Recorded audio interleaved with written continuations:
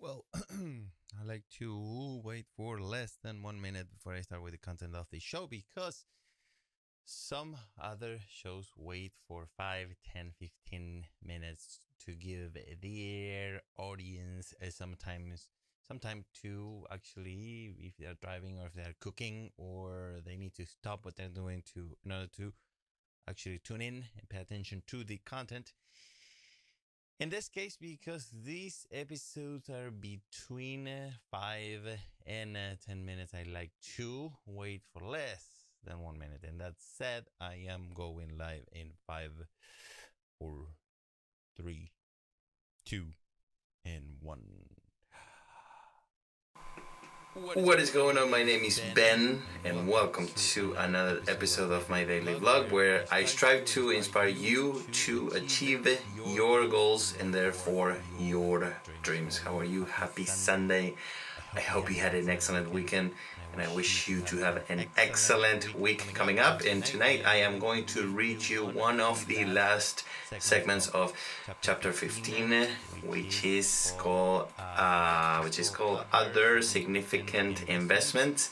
And uh, this segment is one of the last two two segments of this chapter, but I'm gonna do, I'm gonna split it in two parts because it's a little long, and uh, so otherwise I'm reading for too long, and it's like you know it doesn't make too much sense to me at least. So the first part reads, the title is "The Love of Your Life versus the Love of Your Life." You have the love of your life and the love of your life. Both of them could be very different from each other.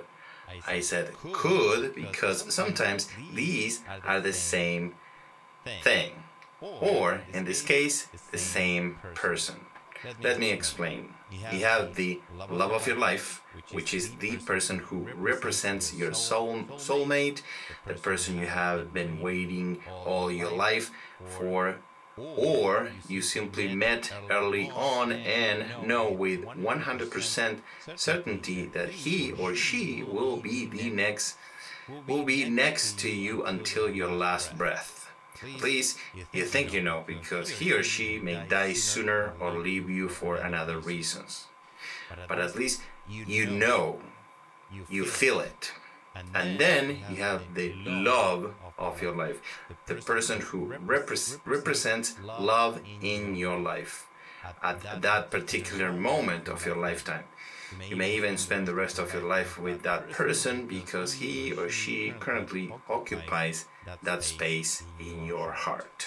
Okay, so basically, I'll read I'll read you part two, but basic, basically what I'm saying there is like. Uh, the love of your life, uh, there, in my opinion, there are two definitions: the love of your life and the love of your life. The love of your life, like I said, there is like that person who is your soulmate, and uh, who you think is gonna be with you for the rest of your life. The person who understands you the most, you know, just, just your soulmate, basically, and the love of your life, the person who represents the, love. in your life. For example, if this is your fourth marriage, let's say, and uh, you have a couple and you love the couple, but you know deeply inside that he or she is not the love of your life. She's somebody who you love, and you know you both had children, and now you know is somebody who you love so much, but it's not necessarily, at least you know internally, not necessarily the love of your life.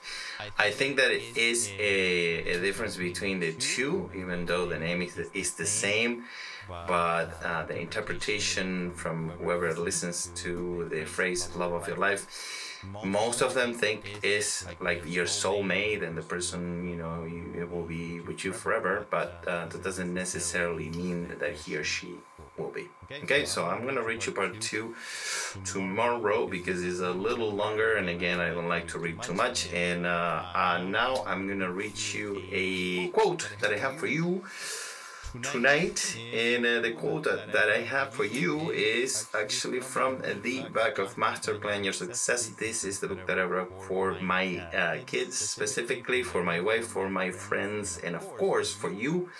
I hope you can learn something uh, from this book, and hopefully, it's going to help you have a better life. And uh, the quote that I have for you tonight reads Information and action combined are indestructible.